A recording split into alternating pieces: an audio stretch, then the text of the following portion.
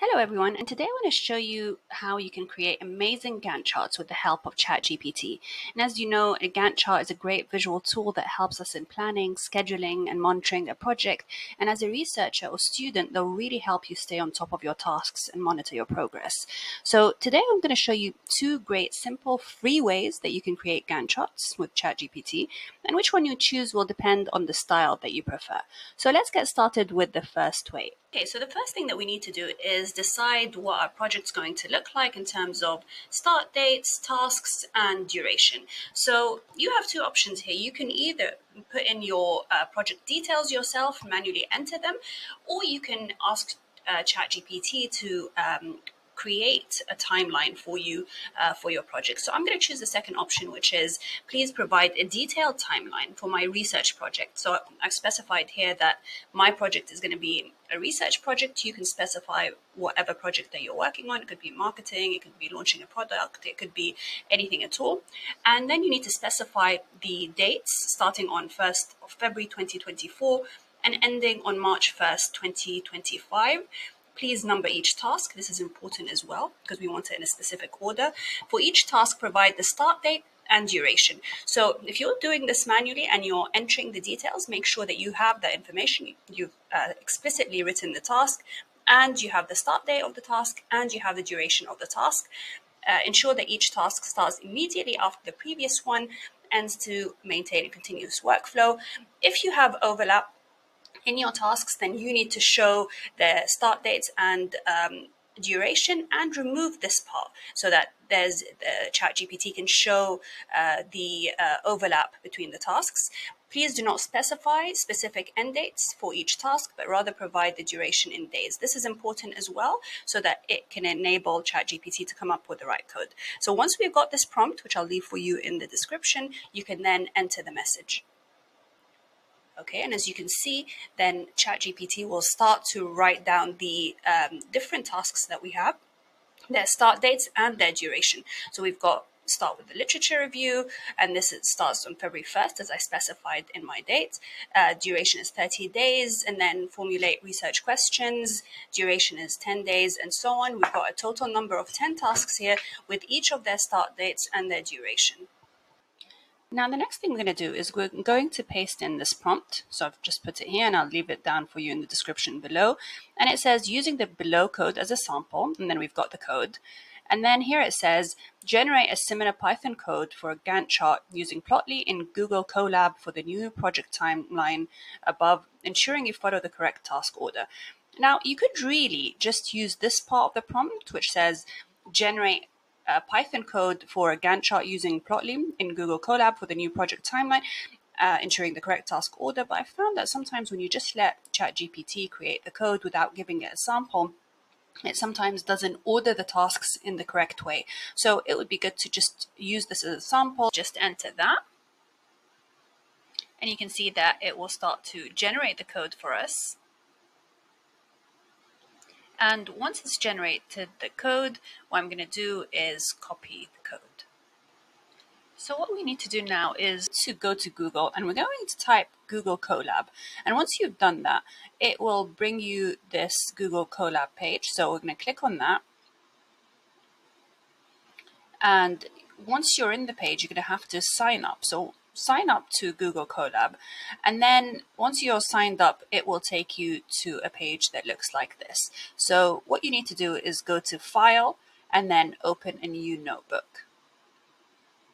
Okay, so once the page has loaded and you've got a page that looks like this, where it says Start Coding, we're just going to enter the exact code that we've copied from ChatGPT, trying to not add any other things or spaces or anything.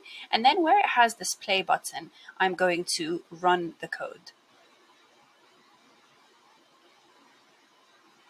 Okay, and once that's done, you will see that you have your lovely looking um, Gantt chart that is ordered with the tasks here, step by step, you can see the timeline below that you've specified, and then you can um, find each one. Uh, you can click on it and you'll get the interactive version to, to see when it's starting and when it's finishing, and um, really a nice looking Gantt chart. Now, if I wanted to download this as a ping file, what you need, what you'll need to do is you can see right now I can't see anything on the screen, but if I hover over um, this section of the uh, web page, I'll see these icons start to appear. And if I go to the camera icon, I can then click on that okay and you can see now that I've got this lovely looking um, Gantt downloaded and that I can insert in my presentations, in my research papers. Okay, so now let's move on to the second way we can create our Gantt charts. And I'm just going to paste in a slightly different prompt to begin with, which says, I want to create a Gantt chart for my research project. The project must be completed in six months. Again, I'm going to specify the start dates. It will start from 1st of uh, May 2024 to 1st of October. Um, create a table with the main phases of the project, specific tasks, duration, and start date. Okay, and then I'm going to enter that. Okay, and it's also given us some uh, notes. So you could ask ChatGPT to create that for you, or if you wanted to, you could create this uh, table yourself and then enter it into ChatGPT and then ask it for the next step. So the next step we're going to is ask ChatGPT to give us the, the mermaid code for this. Okay, and I'm going to enter that as well. Okay, now we've got the mermaid code. Again, we're going to copy the code and then head over to Google. We've used this tool before in a previous video and it's the Mermaid Live Editor. So I'm going to click on that.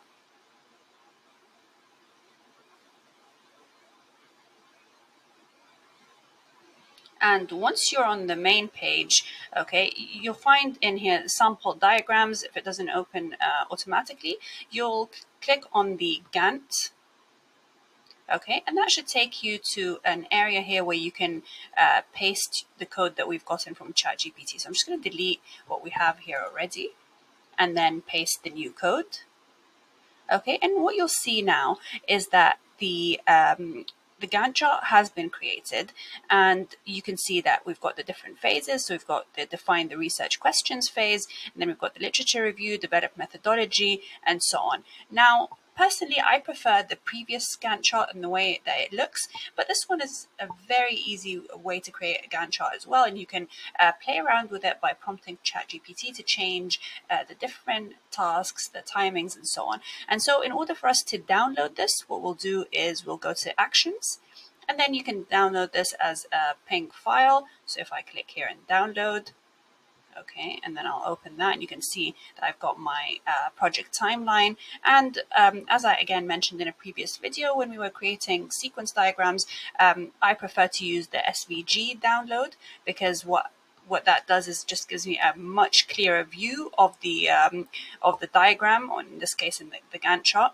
So you can see here my Gantt chart and the different phases. So like I said, I prefer the first uh, one that we created.